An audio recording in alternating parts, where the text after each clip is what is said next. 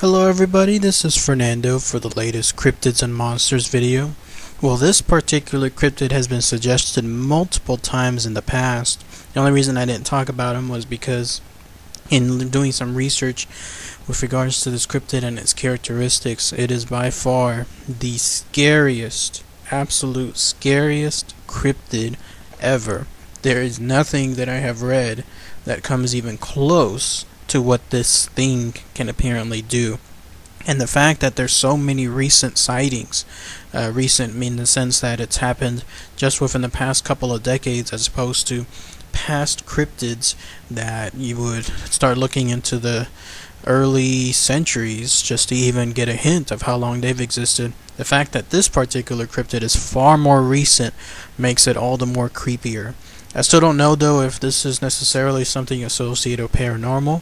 I'm going with the stance that this is in fact a cryptid of some sort uh, because of the many many iterations associated commonly associated with cryptids so I'll explain about it here. So if you haven't heard the most scariest cryptid of all it's called the Popo Bawa. Um, pretty unique name, pretty unscary name considering how essentially malicious this thing is. I mean, if if El Tunche is, is something that's a little bit on the evil side, this one takes the cake. This one goes all the way to the extreme. So if the speakers are set to channel 10 at maximum, this one takes it to 20 and beyond.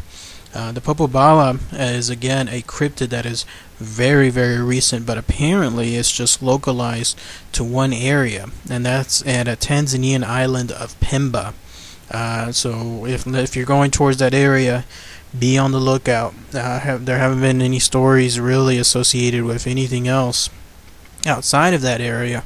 I mean, yeah, I mean there was probably um, like an East African coast area that was affected too, but apparently the main main location of this cryptid is in Pemba. So again, if you're near that area, watch out. Um, so the Popobawa is apparently a cryptid that is kind of like perceived as a shapeshifter. In other words, it can change its shape. What you'll see though are pictures of what it's most commonly associated as, which is like a giant bat. And for some reason, I guess it looks like it's a giant bat, but it's more along the lines of a humanoid with one eye, like a cyclops. And the way that it um, attacks is it essentially goes house by house at night. Well, it's a nocturnal creature. It's its most uh, popular time period, and it attacks uh, the, the inhabitants of each household one by one. And what makes it so scary is it actually attacks them in a sexual manner. I mean, this is a creature that, if you're doing something like that, you obviously this is a creature that enjoys exactly what it's doing on there. Um, and again, uh, the fact that it looks like a bat maybe because of the fact that the shape of it is like a bat, but it's not necessarily a bat itself. So it's kind of hard to explain that, but with regards to its most often cited description, the closest thing that people can say is that it looks like a humanoid bat on there. And so the way the Popobawa attacks is it either comes in the form of a bat or it comes in the form of a human. It visits people at night and then it apparently its telltale sign is it'll have a pungent smell of some sort, usually like a sulfurous odor odor type smell. So whenever you are in that area and you start smelling that distinctive smell, you know you're in a bad place on that part. And so the way it attacks is that apparently it'll jump on people. Like th there you are, people are asleep in the household. It'll jump right on you and it'll start pressing your chest down. Uh, apparently that's how it attacks and apparently it enjoys doing this because it enjoys seeing somebody almost suffocate to that point. And once that happens and the victim is completely terrified out of their mind uh, after this senseless almost beating of some sort, um, if somebody has, let's say, a spouse right next to them, then it'll jump onto the spouse as well and pretty much do the same thing. And then it'll it, it'll repeat this towards the next person in the household and the next one after that. All again just doing this almost for fun. Nothing really in terms of anything as far as uh, like other past cryptids where it's either on the hunt for food or it's doing whatever when it comes to its prolonged existence. No, this one is apparently something that is just doing it purely for fun. And then on top of that, apparently the Popobawa, not only is it distinctly humanoid, but it also apparently understands and talks the language associated with that area. So much so that, again, due to its evil traits, it apparently enjoys, after everything as far as the attack itself, in some cases, again, in a sexual manner, it'll tell that person to purposely tell others about what happened. So instead of, say, the victim deciding, you know what, you know, I'm going to keep my mouth shut and not let anybody know about this, no, no, this particular cryptid, the Popobawa, it will tell somebody you absolutely better tell this to everyone else again enjoying this fact that, that this person is about to humiliate themselves in this manner. And it says if you don't tell then i will continue my repeated attack until you do so. That is sick. That is absolutely sick. Again this is a creature um, it's a cryptid but it's by far the most evil cryptid the most I guess, malicious cryptid out there. Nothing comes even close to that. So much panic has apparently happened within this area that people are scared to be in their homes. They are actually scared to sleep at night in their homes uh, because it looks like if you are sleeping in your home, you are attacked. But if you are sleeping outside, and then you are not attacked. As strange as it sounds, that's what the research showed on there, and it's so much so that people are actually spending the night awake outside of their own homes, is uh, essentially just wrapped around blankets, wrapped, um, you know, gathered around a large bonfire of sorts, as they wait for the Popobawa to leave the area on there. Now, what's really scary about this fact is that the Popobawa, again, it's a fairly recent cryptid. The first stories date back to 1965, so it's not too far back. A good 50 years or so on there. Uh, but the sightings increased throughout the 70s and 80s, but it absolutely reached its peak in 1995. So much so that it incited a panic. There was actually a panic, a mass panic within that area from the Popobawa. And this is how it occurred. Um, uh, apparently, this happened during the what is it called? Uh, I can't remember the time period. The Ramadan, that's what it was on there. Um, it was during that period on there that reports of a Popobawa was attacking a household. And once that happened, and the Popobawa again in that area um, had already had a huge impact. Once that happened and news about him was again in the area, it spread like wildfire. And so when that happened, um, people started accusing each other of themselves being the Popobawa again because this is apparently a chameleon-like shapeshifter of sorts. It'll absolutely incite panic. It'll be almost like that movie The Thing where you'll start wondering, hey, is my neighbor the thing? Is uh, my mom the thing? Is my coworker a thing? Stuff like that. People started actually thinking that that's that the people around them were the Popobawa in disguise, and there were fights, there were riots because of this. Yeah, people were accusing others of being this thing when, in fact, in in most cases, they were innocent.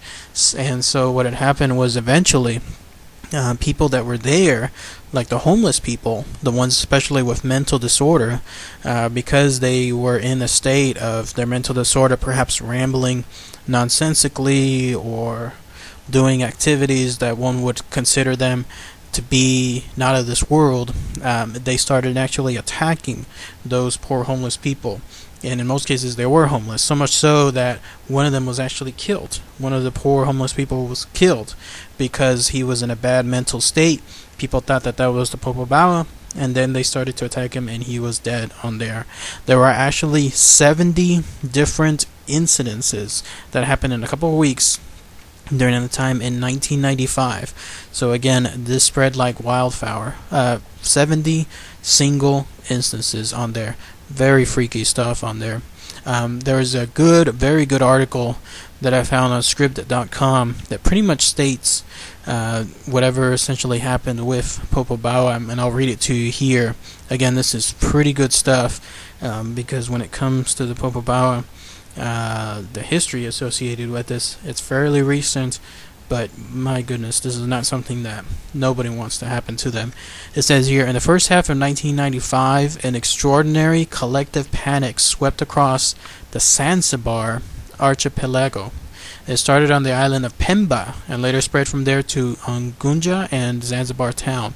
Men, women, and children described being assaulted by a shape shifting spirit called a Popobawa. And on the larger island, reports were rife that adults uh, of both sexes had been sodomized by this malevolent entity. In order to avert its nocturnal attacks, many people resorted to spending the night huddled together in anxious groups and anxious groups outside of their homes on both islands.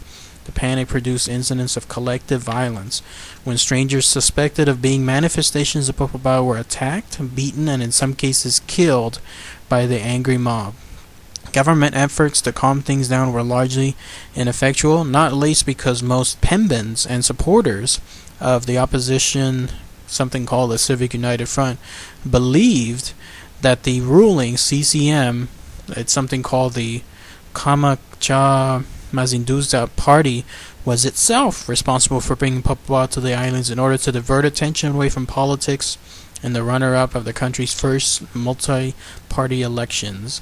So there you have it. Um, all the actions that the Popobawa has done, the belief that one other party uh, was, was essentially bringing this uh, this entity, this cryptid, whatever it is, to the island in order to divert attention. The fact that people were killed, those that were suspected of being this particular cryptid, again, you, this um, truth is stranger than fiction. You can't make this stuff up on there.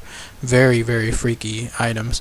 And what's interesting too is that with regards to recent attacks, there's some that are even down uh, just a couple of years back. It'll be on uh, September. I'm sorry, it was 2007 in a place called Dar es Salaam. Um, uh, there were reports of something like a winged bat of some sort that was uh, essentially attacking, attacking people in and around that area, and the BBC even reported on it. This is again how unique this particular cryptid is. The fact that you have a giant news organization like the BBC doing something like this. So, Popobawa, um, nothing that I know of with regards to something you know being so so evil. Nothing that I know of in terms of of like what attracts the Popobawa or how what repels it on there. It just seems to be something that exists in that area and then just attacks on there. What's interesting also is though the fact I mean people have done research into these uh, what had happened, everything that I just mentioned, uh, with regards to uh, this area in Zanzibar being impacted so much. Again, a mass riot, a riot, an actual riot on there occurred because of this. Uh, you do not hear that with any of the other cryptids that I mentioned in the past. Imagine like a riot in the sense of a large city turning itself upside down. That's what happened on here. And so people um, that have done research on there checked into some claims, and this is what's interesting with regards to uh, like hospitals where people have said, oh, okay, the Popobawa victims, they went to this hospital or they went to this medical center uh, because that's where the victims were treated afterward. But whenever some of the people that were doing the research went to those places and asked, the people that were there, either in the hospital or medical center, would say nobody came in like that. You know, nobody came in claiming such a thing on there. So it makes you wonder again uh, with regards to the truth associated with all these claims. Again, um, the stuff, the fact that this, it's weird. You have one polar opposite, which is stuff that has been researched in terms of a true mass attack happening there in that area, and then with regards to others actually checking up on some of those areas and finding out that you know nobody has been in around that area. Uh, you know, claiming these things as far as being attacked makes you wonder again how much is truth, how much is fiction on there. It could be that the Popobawa is their version of the boogeyman. That that's their version of of, of that, you know, the usual thing that every country seems to have when it comes to something being so malicious. Um, but here, the Popobawa is by far, just based on the characteristics, or one of the most evil things I've ever come, up, you know, researched with regards to this.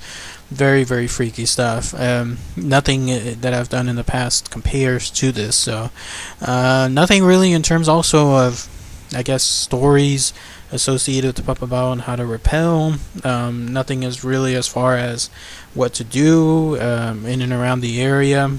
So, um, if anyone has anything with regards to that, please, you know, post your comments, share them below. If anyone has heard any other stories associated with the Popobawa, you know, please, please post them on here as well. So many of you have requested in the past, and here it is on there.